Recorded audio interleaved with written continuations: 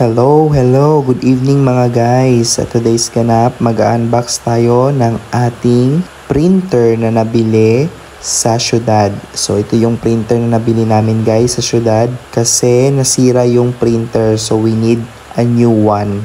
Mapapasa na all ka na lang talaga sa mga kuya mong nagsosuporta at nagbibigay financial para makabili lang ng new printer. O di ba guys? Sana all no? So nabili pala namin guys tong printer sa syudad at napasama lang ako sa aking asawa kasi bibili siya ng new printer kasi wala na daw siyang printer or sira na yung printer niya. Kaya ayan ano guys um, sinamahan ko siya bumili ng new printer. Kasi guys, mahirap talaga pag wala kang printer. Kasi yung printer is marami talagang magagamit kapag may piniprint kang mga documents or mga files sa iyong computer. Especially kapag teacher ka guys needed talaga yung printer so ayan na nga guys at nakabili na kami ng printer So sayang at hindi kami nakapag-video kung saan namin nabili tong printer at saka hindi namin na na-vlog kung mag ano kami, kung bibili kami ng printer kasi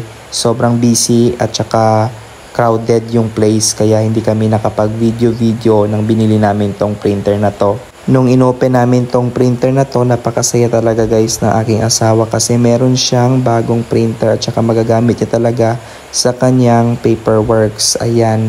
So napaka-quality talaga ng printer na to guys. At saka syempre bago at meron na yang ink sa loob at na-install na yan sa kanyang laptop. O diba guys, tingnan nyo naman kung gaano kabago yung kanyang printer. O diba, mapapasa na all ka na lang talaga sa kanyang printer. Ang brand pala ng kanyang printer is Epson. Ayan. So gusto ko din na printer. Pag magka-printer ako is Epson din kasi maganda daw yung quality ng Epson. O diba guys, tingnan nyo naman. At kinukuha na namin yung uh, parang scotch tape na blue sa printer na iyan. So ayan na nga mga guys. At kung bago ka pa lang dito sa aking YouTube channel, Huwag kalimutang mag-subscribe at i-hit ang notification bell para mas updated ka pa sa mga videos na aking ipopost. At paki-comment na rin kung taga saan ka para malaman ko kung saan umabot tong aking video na to. And ayan na mga guys at saka very excited na talaga siya na ipatong yung kanyang printer sa itaas ng kanyang divider. Ayan, o ba diba guys? So ready to print na to guys tong kanyang printer kapag ginamit mo to. Ayan. So, tingnan nyo guys, napakalinis sa loob. Siyempre, bago nga, ba diba? Siyempre, of course, malinis yan. And then, uh, kinukuha namin yung scotch tape na blue para easy to print na lang tayo mga guys pag ginamit natin ang printer. Ayan. And then, ayan yung mga cord. So, tines para namin dyan if gumagana yung uh, printer niya. Ayan. So, ikinabit namin yung uh, saksakan tsaka yung cord nito sa printer. Buti na lang guys, itong printer niya is napakagaan kasi yung unang printer niya na dinala namin is uh, napakabigat. Epson din yon pero meron yung ano, scanner at saka Xerox copier. Ito meron din tong Xerox copier pero wala siyang scanner pero maganda siya when it comes to printing quality. Ayan. O diba guys, paborito ko din yung Epson na printer.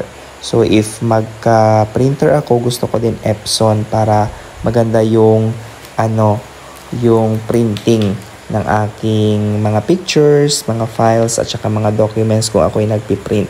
So ayan na nga at inonya na kasi hindi na siya makapaghintay na mag-print mamaya ng kanyang mga gawain. So na-test na din namin to guys bago kami doon umalis para of course to ensure na gumagana siya at saka nagpi-print. So ayan guys at napakaganda ng printer na to. O ba? Diba?